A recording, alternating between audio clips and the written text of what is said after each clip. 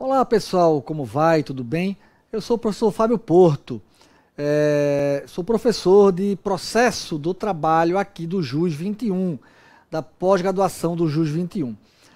Ah, nessa, nessa chamada nossa, eu gostaria de tratar de, com vocês de um assunto muito interessante, inclusive objeto de decisões bem recentes do TST, que é o amicus curi, ou amigos da corte.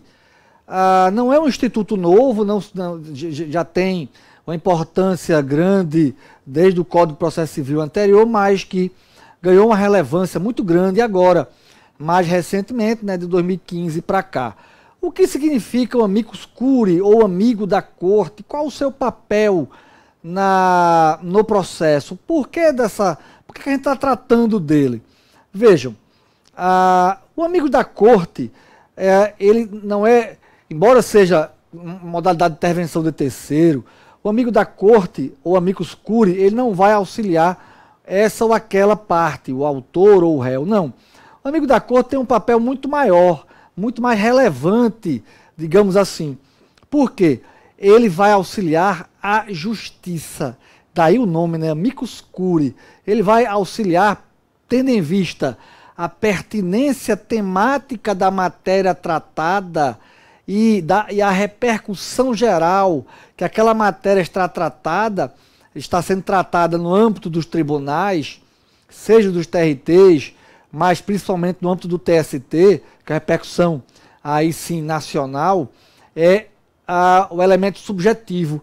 E temos também, para que seja admitida aquela parte, aquela entidade, seja pessoa física, seja pessoa natural, seja pessoa jurídica, seja entidade, seja um escritório, seja um órgão de classe, deve-se observar um requisito objetivo, que é a pertinência temática.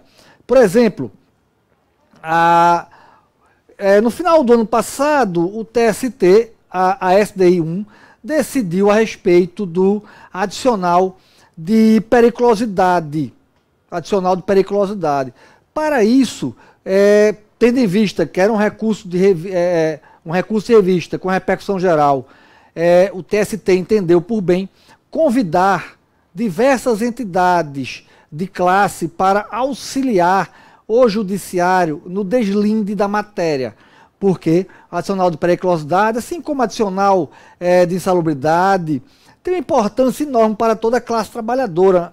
Um sem número de trabalhadores laboram em condições perigosas ou mesmo laboram em condições insalubres. Então, percebem esses dois adicionais, né? um ou o outro adicional, tendo em vista que não é possível acumular. Tá certo? Então, esse amigo da corte serviu e foi mencionado, foram mencionados no acórdão da SDI 1, serviu para balizar, para dar é, é, é, embasamento teórico, embasamento prático também, tendo em vista a expertise que essas entidades possuem naquele tema específico.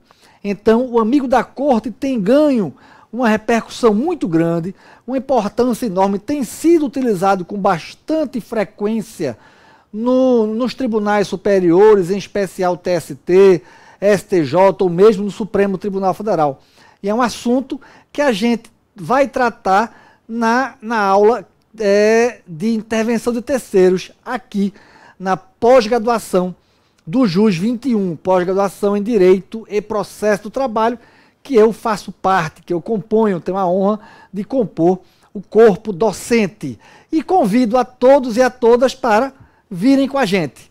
Vamos juntos a aprofundar os assuntos, aprofundar os temas, atualizar eh, essas, essas matérias importantíssimas e fundamentais no direito processual do trabalho. Vem com a gente, vem para pós-graduação do JUS 21.